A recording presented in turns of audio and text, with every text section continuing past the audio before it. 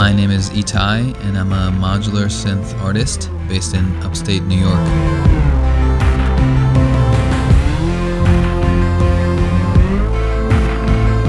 It's pronounced Itai. It's basically my name with some additional letters.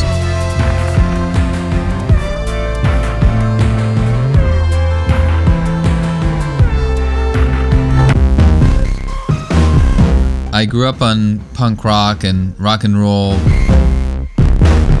But after burning out as a frontman of a touring band, I kind of put my music on hold for a while until I discovered modular synthesis, which opened up a whole new world for me.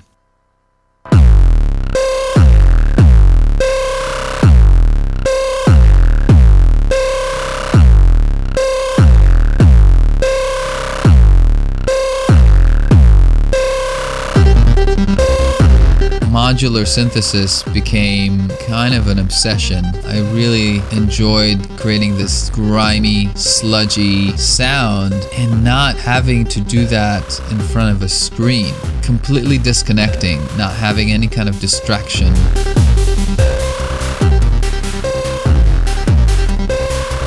Modular synth is more like an instrument. It's akin to a guitar, but with wires and knobs and endless amounts of combinations of routing and patching. That's really inspiring. And I think that's what drew me into it.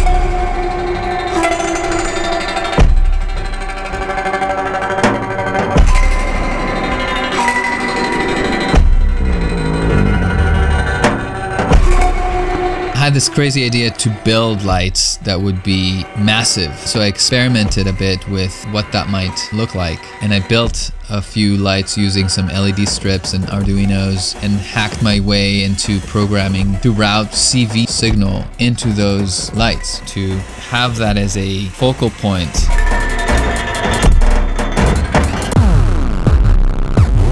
And in a way a digital stage that allowed me to be almost like a silhouette rather than the subject that i was almost inside of the modular synthesizer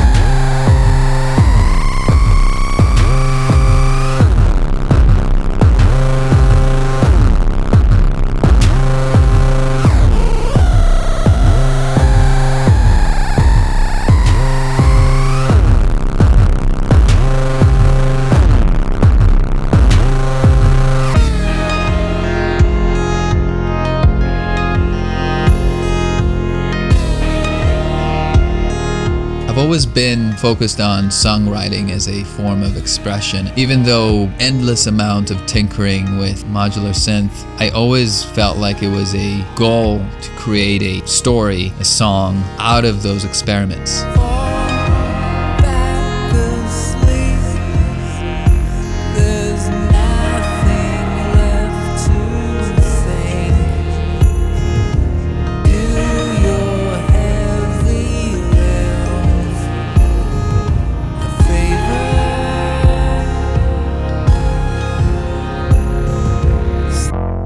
In 2020, I released my full length album Zeros and Twos on Truth Table Records.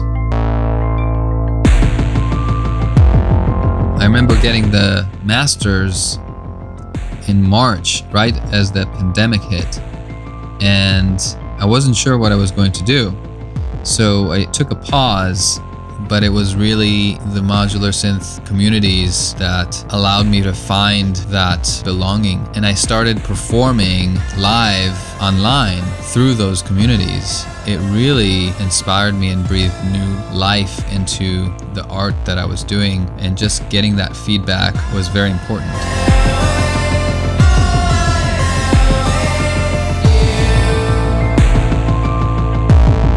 Got a chance to meet a lot of people through that experience. I had some great collaborations. One of them was with Jude Gergen, who shot these beautiful drone shots of New York City at the height of the pandemic of an empty city overlaid on, on my first track from Zeros and Twos. And also reconnected with an old friend and producer, Assaf Specto, and we created a song together called Everything Changed.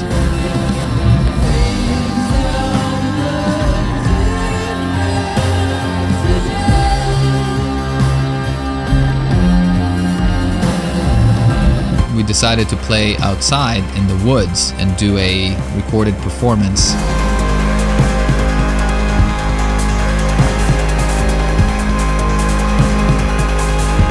that was the start of this partnership that led to my most recent album, Panic in Slow Motion.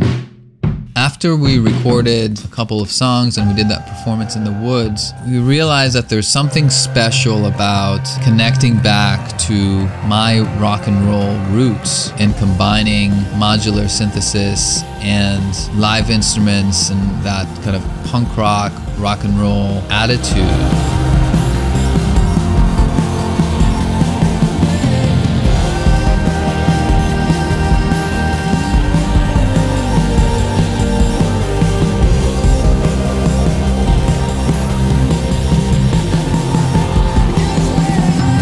Started collaborating in the studio, we collaborated remotely, and it really inspired me to create. And so it kind of snowballed from there. I'm really excited that this album is, is coming out. I just released the vinyl version of it, and now we're working on putting it together as a live show. Panic in Slow Motion is very special for me because it's electronic music, but it's also raw and in the moment.